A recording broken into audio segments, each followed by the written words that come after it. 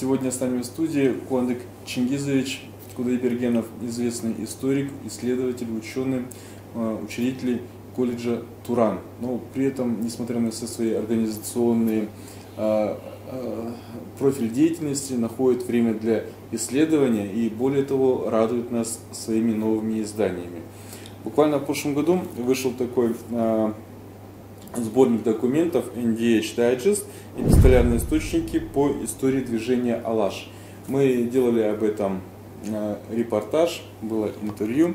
И вот в этом году э, Конрад Чингизович радует своих читателей вторым номером э, в этой серии, также посвященных движению Алаш. В сборнике включены новые, ранее не введенные еще в научный оборот документы. Расскажите, пожалуйста, об этом подробнее.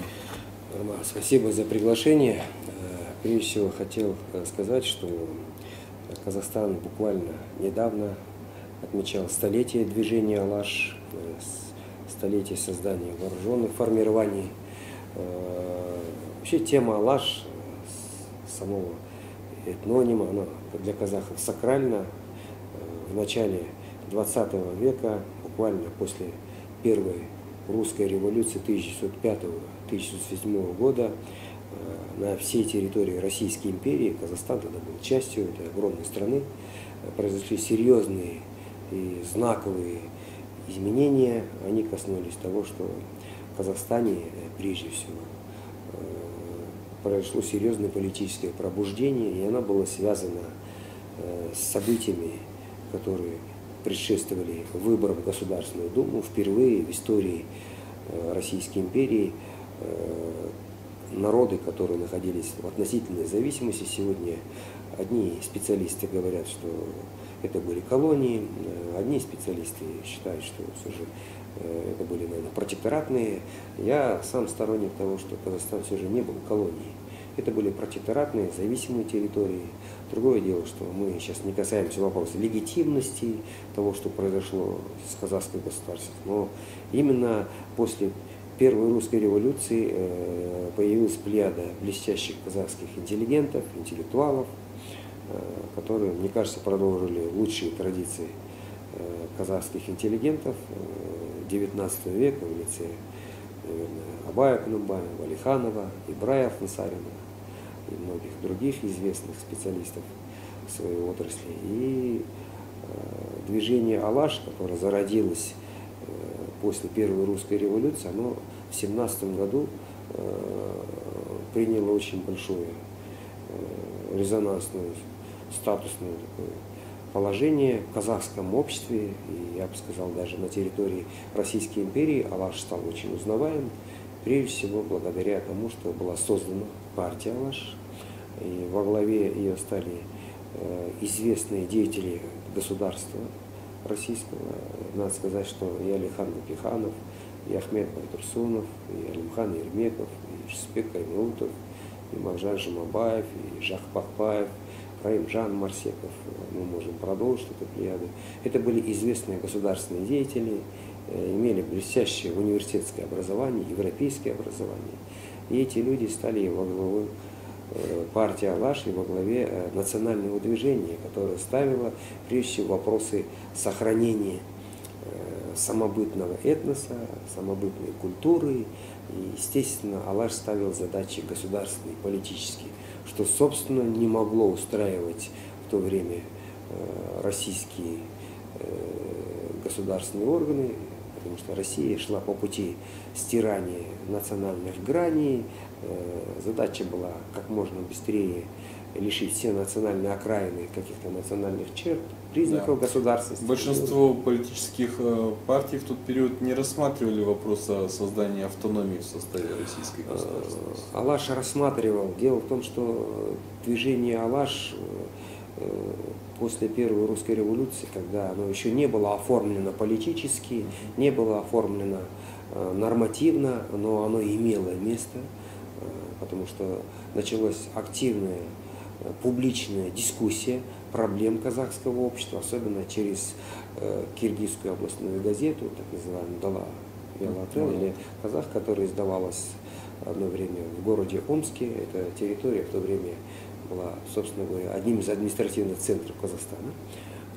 И публично даже рассматривались такие вопросы, как орошать луга, как сеять пшеницу, как в нынешней ситуации, когда э, есть огромное количество казачьих кордонов на территории Казахстана, которые сужали вопросы э, экономической миграции для кочевых племен. И в такой ситуации как выживать? Э, то есть стояла задача трансформации, э, преодоления кризисных явлений.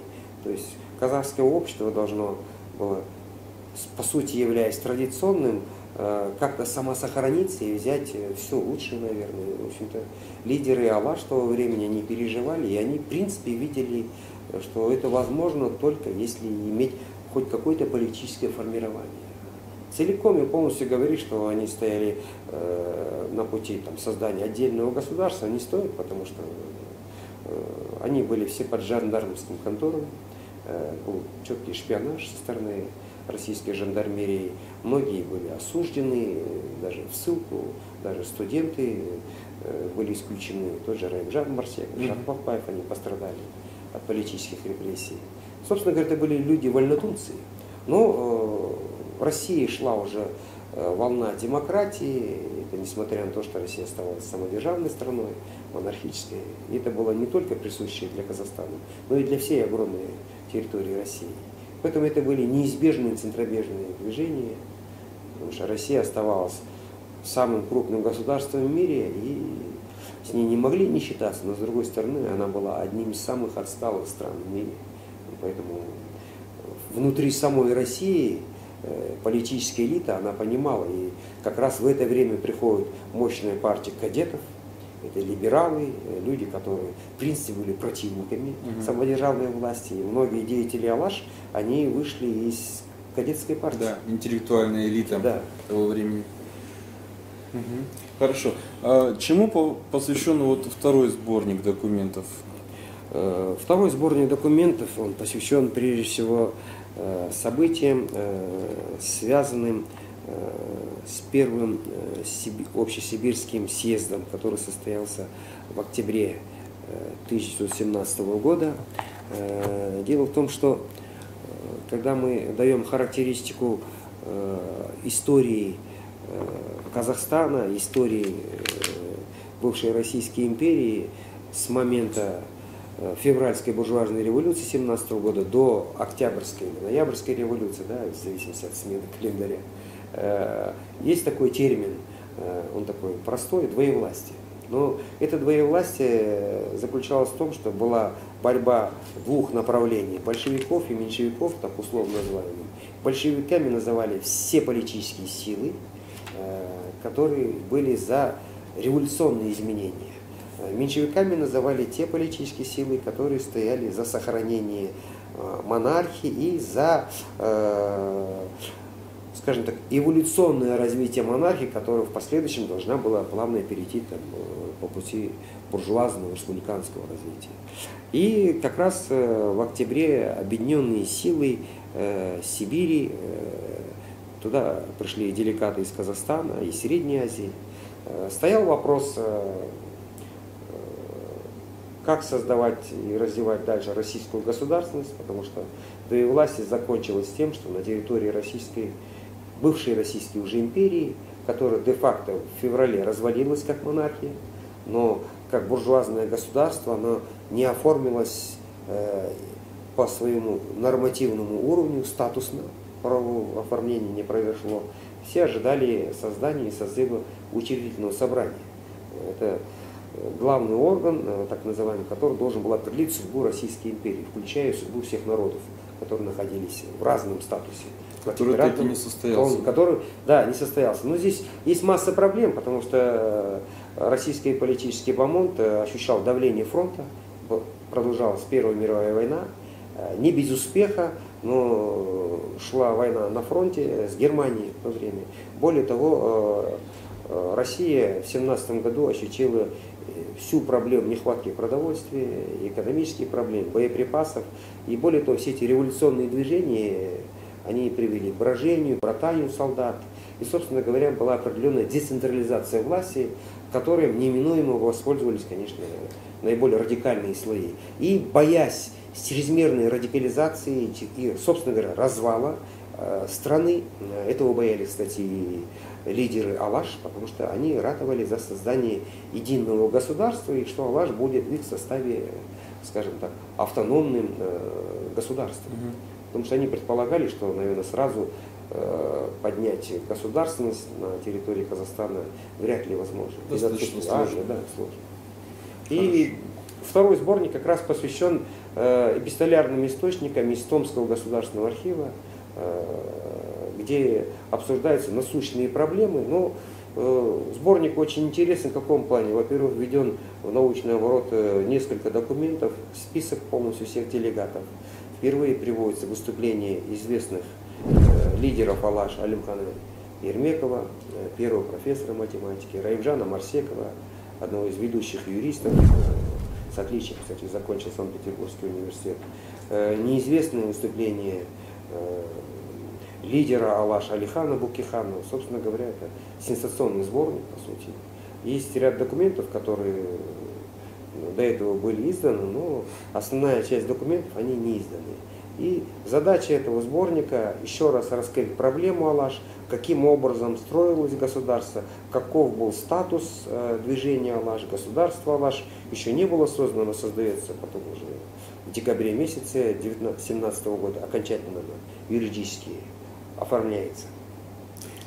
Да, мы много э, слышим о первых крупных национальных лидерах Алихан Букиханов, Ахмед Байтурсынов, Муржак Абдулатов. Но вот действительно, чтобы э, благодаря таким историкам, как вы, вы наполняете их имена смыслом, идеями, взглядами, словами. И в этом, наверное, как раз и заключается главная ценность этих сборников. Э, скажите, пожалуйста, вот э, основной источник у вас является фонды архива государственного, Томского государственного да, архива. ГАТА, Государственный архив Томской области. Ну, э, Арман, вы же понимаете, что история э, это наука политическая, э, но в любом случае историк оперирует некими источниками.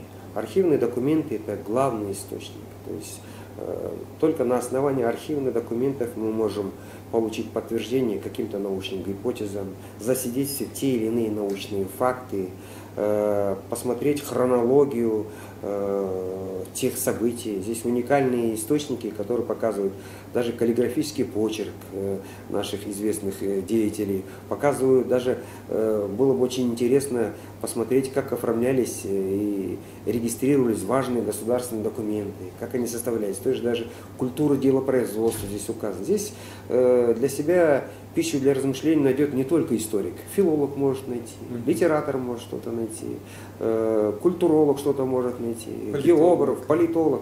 Поэтому он такой межпредметный сборник, э, не совсем исторический. Здесь очень много фактов, касающихся, прежде всего, становления вот этих политических процессов. Потому что Алаш, который планировался как государство быть автономным в составе еще не созданной российской э, демократической республики по воле случая в результате вот этих томских событий и последующих событий, в результате всех этих процессов стал государством самостоятельным. И моя задача как историка прежде всего довести, что э, государство Алаш является первым светским государством на территории Казахстана, первым светским. Вторым, наверное, светским государством является, наверное, автономная Казахская Советская Социалистическая Республика, которая была потом трансформирована в Казахскую Советскую Социалистическую Республику. И уже третьим светским государством в истории казахского государства является Республика Казахстан, которая была создана в 1992 году после распада СССР. И, собственно говоря, наша современная государственность это э, свое начало берет э, в период как раз партия Алаш, потому что впервые Э, документально, юридически территория Казахстана, э, ее границы, э, они получили документальное подтверждение, и некий контур был вычерчен именно лидерами Алаш. И окончательно он был завершен уже в наше мирное время, когда руководитель государства Султан Назарбаев, являясь президентом Республики Казахстан, окончательно подписал договор о демилитаризации границ и с Китаем, и с Российской Федерацией, с кем у нас самая большая сухопутная граница. Это очень важные вещи, потому что э, история государственности казахов кочевого периода, феодального периода, это одна история, которая, к сожалению, страдала, скажем так, э, недостатком конкретики, недостатком э, нормативно-правовых документов. Ну и субъективным, э, субъективным взглядом. И плюс ко всему понятие кочевое государство, ее границы, они всегда мобильные.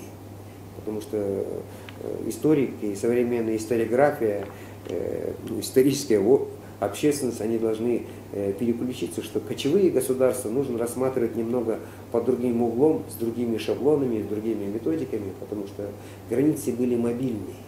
И наши предки все время кочевали до Тюмени, до Самары, э, до того же Томска.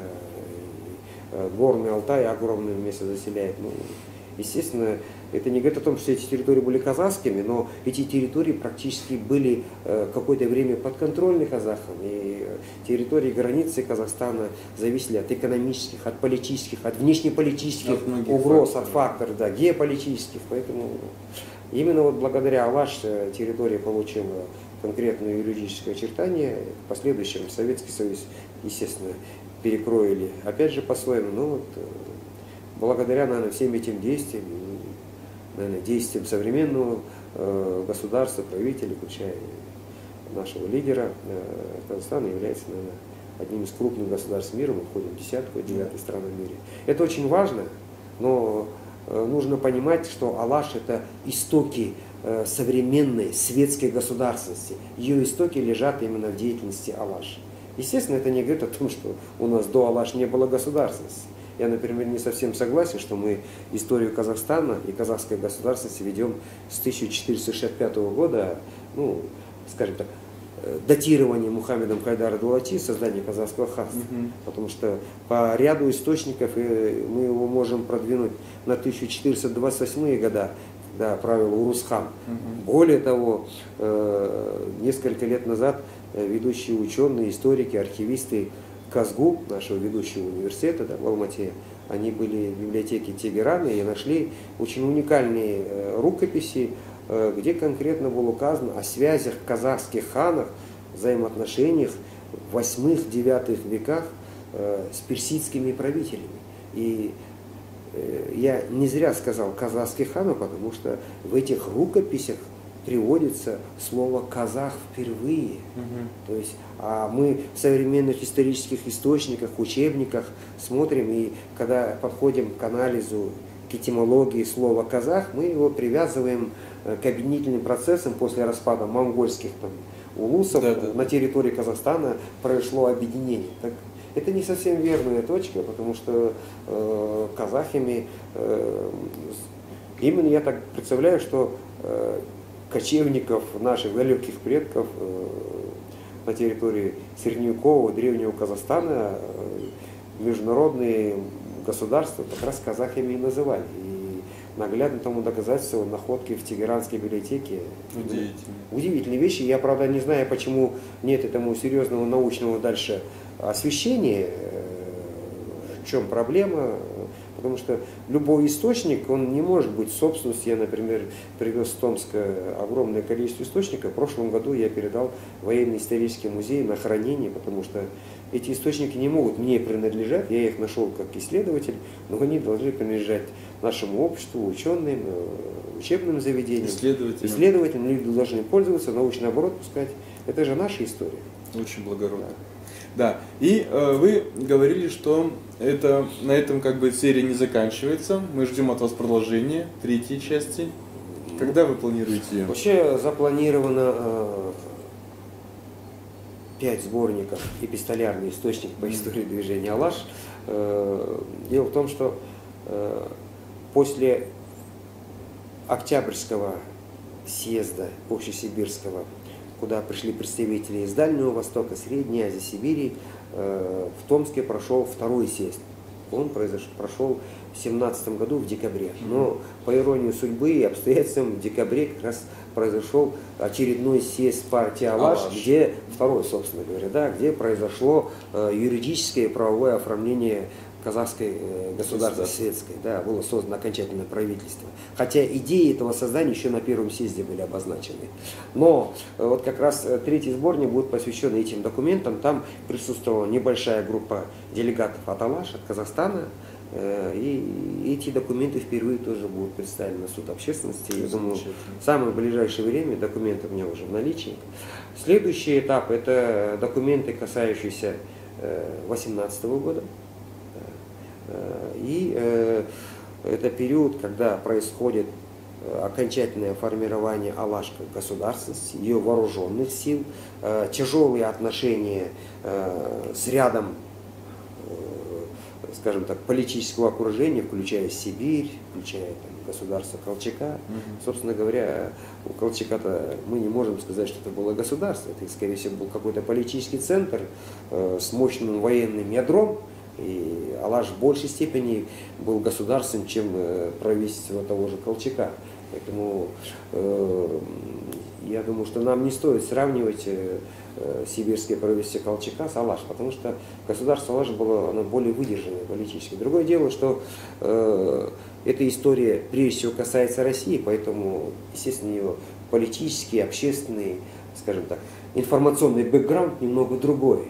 Мы всегда привыкли, все, что касается нашей истории, вот недавно я на одном из порталов прочитал, что мы формируем э, негативные ощущения, э, представления Э, нашей истории. Абсолютно с этим согласен, потому что когда касаешься наших учебников, что школьных, что вузовских, и выступлений многих известных наших ученых, профессоров, то война, то джунгары, то бедствие, то бай плохой, то еще что-то, кто-то неудачный. То голод. То, то голод. И, естественно, э, в голове у простого обывателя думают, боже мой, казак Мунтерлген всю жизнь умирал, всю жизнь воссоздавался. Это не совсем верно.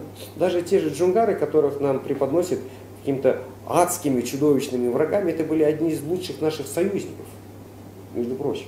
И у нас были периоды успешного сотрудничества с джунгарами. И это были кровно-родственные отношения, близко, близко дружеские отношения ряда правителей. Другое дело, что джунгары были кочевыми этносами, которые видели в казахском ханстве единственного серьезного конкурента на тот момент. Почему не преподносить э, именно под таким соусом? В итоге ведь э, казахское ханство победило.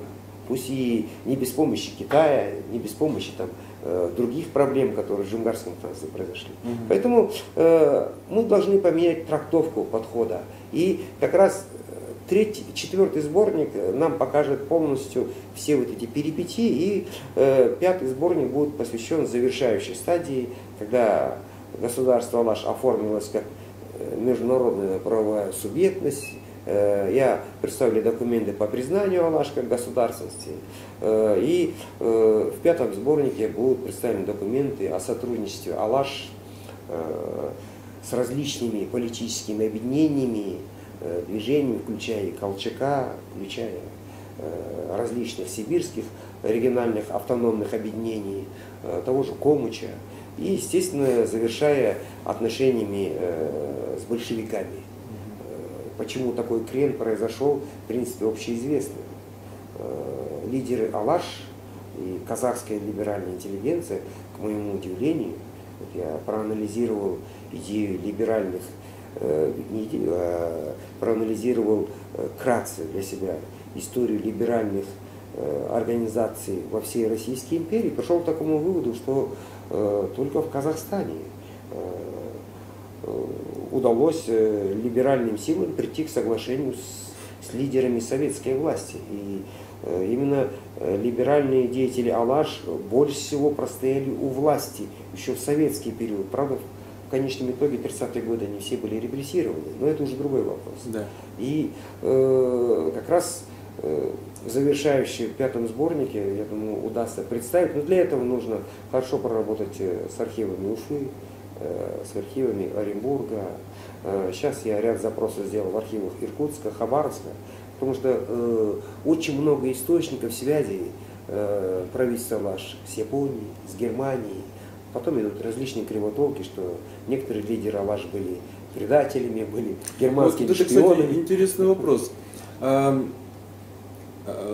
период распада Российской империи создания национальных государств как, допустим, э, республики в Азербайджане, в Грузии, в прибалтийских республиках, э, они не только объявили о своей независимости, но они получили и международное признание, в том числе и на Версальско-Вашингтонской системе, на Парижской конференции. Абсолютно. Вот. А о признании Алаш, вот, э, об этом как-то не говорят наши ученые. Были ли какие-то э, попытки или, допустим, факты такого признания? Ведь, насколько известно, э, и лидеры Алаш, наверное, взаимодействовали и с представителями иностранных миссий, которые были э, в том же э, при Временном Сибирском правительстве у Колчака. И все-таки они видели определенную силу в казахской государственности? Вы знаете, очень интересный вопрос, в принципе, он логичный вопрос. Я абсолютно убежден, например, в первом сборнике я привяжу письмо представителя Генерального консульства Соединенных Штатов Америки, где он пишет всем делегатам данного съезда, что э, Соединенные Штаты Америки не вмешиваются э, э, в свободные волеизъявления представителей Сибири и других регионов, включая Казахстан, и поддерживают любую деятельность по самостоятельному развитию. Я думаю, что аналогичные письма и подтверждение признания международной правосубъектности, я абсолютно убежден, что получал и Алаш.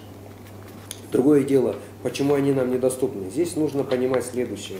Э, здесь нет, э, скажем так, никакой антироссийской риторики. Мы должны четко понимать, что Э, Россия современная и Россия советская это два разных вещи, абсолютно две разные государства. В советское время э, движение Алаш, Алашское государство преподносилось как буржуазно-шовинистическое, националистическое государство. Тема была непопулярна. Да, тема была непопулярна, потом э, оставим это на совести тех ученых, но Алаш, республика Алаши, партия Алаш, она не была националистической. Она по количественному составу, естественно, была национальной потому что преобладали казахи. Но даже вот при создании правительства Алаш там э, несколько э, постов министров были оставлены для других инородческих народов, угу. чего не было, например, в той же России. Э, и э, применительно тому, есть ли документы подтверждающие. Э, пока этих документов э, у меня нету, и я как-то не слышал и не встречал. Но э, я абсолютно убежден, например, среди после распада Российской империи, когда Россия себя объявила буржуазной республикой, но она, объявив, еще не оформилась. Это, к сожалению, э, говорит... Вообще проблема э, России, мне кажется, она и сейчас. Это проблема менеджмента, политического бомонда. И если бы э, те политические силы, которые стояли в 2017 году, были э, как менеджеры более способны, возможно, и развала такой страны не было. Возможно, и так э, может быть, этот развал просто был бы чуть позже и в другом качестве. Я здесь не могу уже что-то говорить. Но э, я что хотел сказать. Э, в советское время э, многие документы, связанные с историей Алаш, были изъяты. И они хранились в архивах НКВД, в последующем архивах КГБ. Они сейчас для нас закрыты. Это раз. Э, иначе ничем не объяснишь, что в Казахстане по Алаш практически ничего нет. И наши ученые вынуждены есть в российские архивы, которые для нас крайне малодоступны. Даже если вы получите доступ, э, очень трудно ориентироваться в архивах. Ты просто не, не зная номер архива, не зная номер дела и описи, бесполезно что-либо искать. Там э, миллионы страниц и документов, зашифрованных под разным грифом. Там же не пишется по истории Алаш. Там конкретно фонд такой-то, общий период такой-то, и огромное количество. Я даже в Томском архиве свыше 980 тысяч исторических документов дореволюционного периода. Вы можете себе представить? Это, можно сказать, Около миллиона.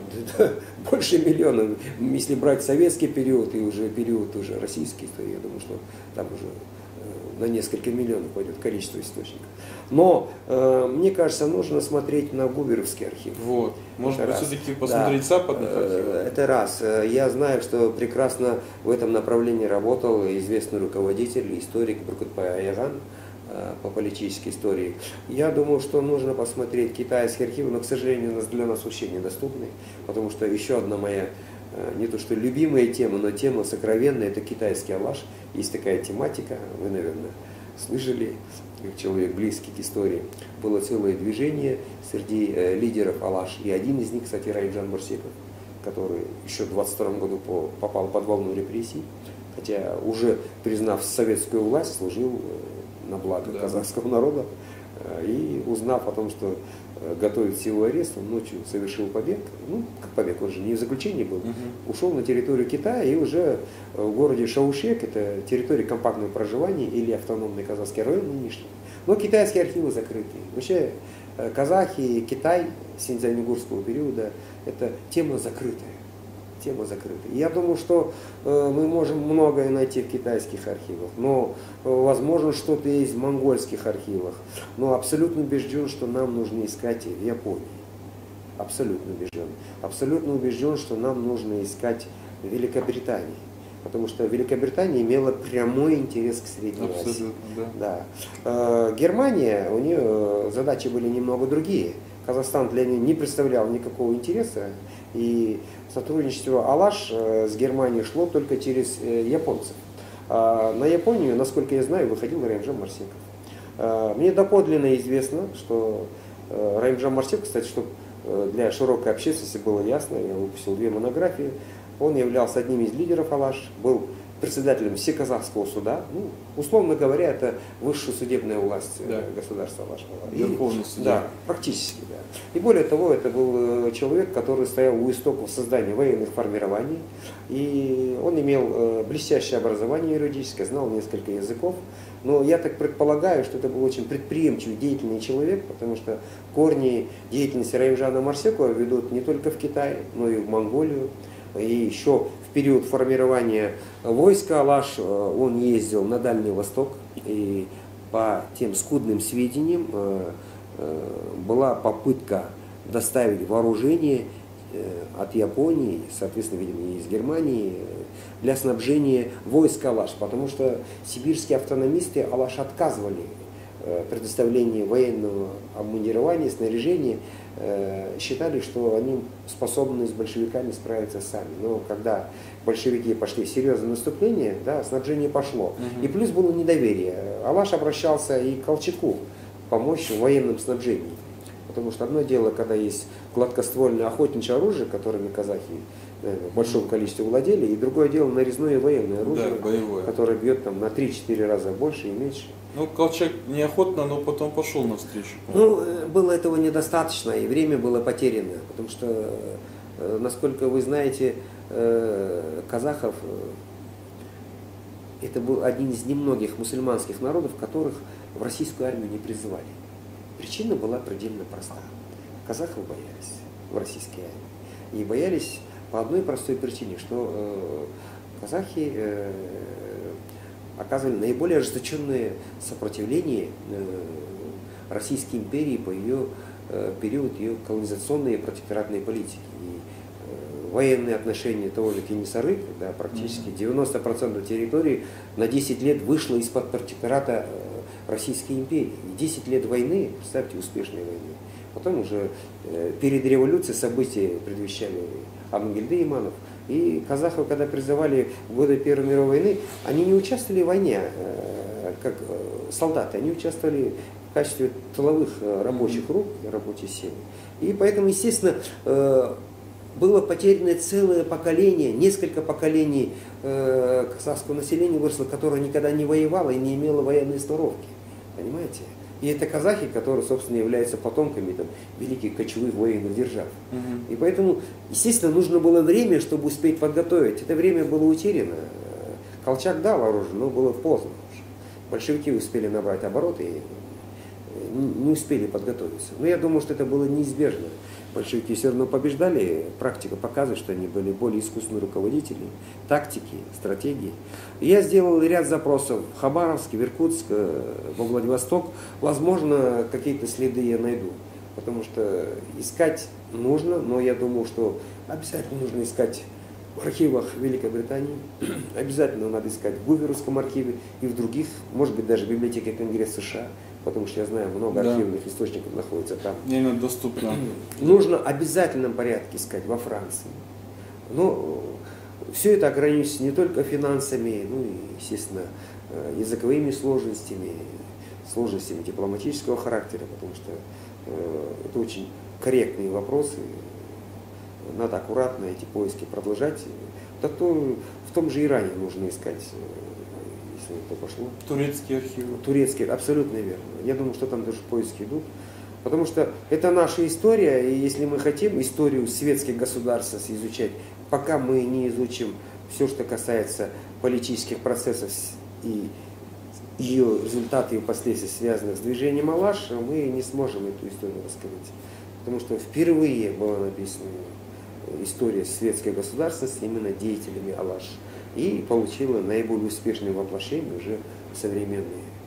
Алаш – это продолжение нашей современной республики Казахстан. Все. Спасибо вам большое. Будем надеяться, что э, поиски, научные поиски дадут долгожданный результат. Рахмет вам, Арман. И э, вашему коллективу, цифровому порталу истории Казахстана, вашему акционерному обществу Казконтент благополучия, успеха, потому что очень креативный, э, очень живой, информативный портал. И мы с удовольствием всей семьей смотрим и ваш сайт, и следим за информацией. Потому что популяризация истории народа э, имеет очень большое политическое и культурологическое значение. Большое спасибо. С вами был Куанык Чингизович Кудайбергенов. Спасибо большое. До свидания.